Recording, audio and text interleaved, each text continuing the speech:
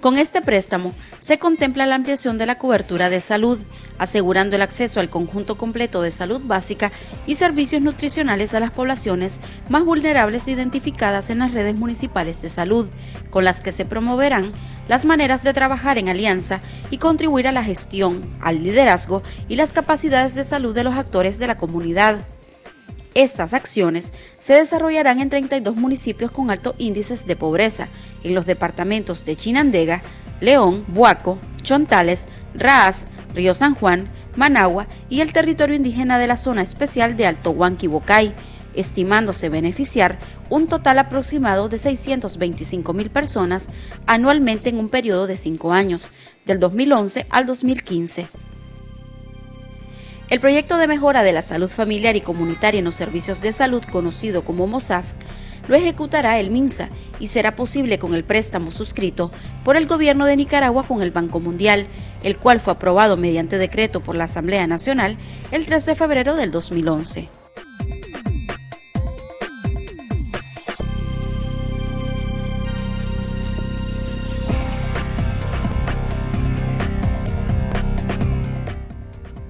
Nicaragua con estos recursos reducirá la vulnerabilidad de poblaciones rurales frente a fenómenos asociados al cambio climático, mediante acciones de gestión de riesgos basada en el manejo y conservación de recursos naturales en cuencas priorizadas por su vulnerabilidad.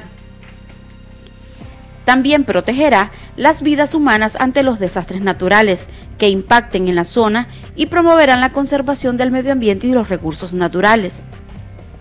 El Programa Ambiental de Gestión de Riesgos de Desastres y Cambio Climático también apoyará a los productores ubicados en las zonas vulnerables afectados por el cambio climático y desastres naturales. Este programa ambiental beneficiará a 3.600 familias de los municipios de La Concordia, San Rafael del Norte, Jinotega, La Trinidad, San Isidro, Sébaco y Ciudad Darío. Los fondos de este programa ambiental, que será ejecutado por el Ministerio del Ambiente y de los Recursos Naturales, Marena, provienen del préstamo otorgado a Nicaragua por el Banco Interamericano de Desarrollo, BID, el cual fue aprobado por el Parlamento nicaragüense el 3 de febrero del 2011.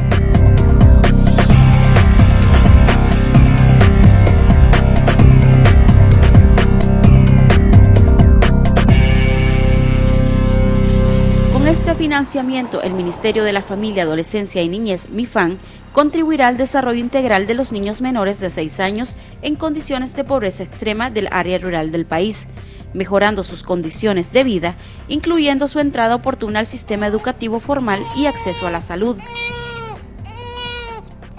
Además, esta institución dará continuidad a los servicios de atención integral a la niñez desarrollados en las etapas 1, 2 y 3 del programa de atención integral a la niñez Painín en los 66 municipios de mayor vulnerabilidad de Nicaragua y reforzará la calidad del modelo de atención integral a la niñez del Painín, introduciendo los ajustes necesarios en las estrategias de educación, nutrición y capacitación.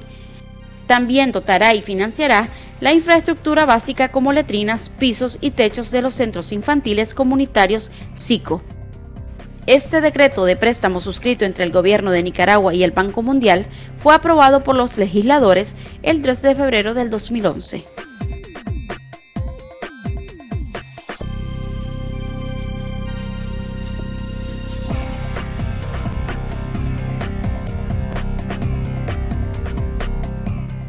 Con este convenio suscrito entre el Gobierno de Nicaragua y el Banco Interamericano de Desarrollo y aprobado por la Asamblea Nacional el 3 de febrero del 2011, se fortalecerá la eficiencia y la transparencia de la gestión del gasto público a través de la instauración de un nuevo sistema de gestión administrativo financiero de las instituciones de la Administración Central.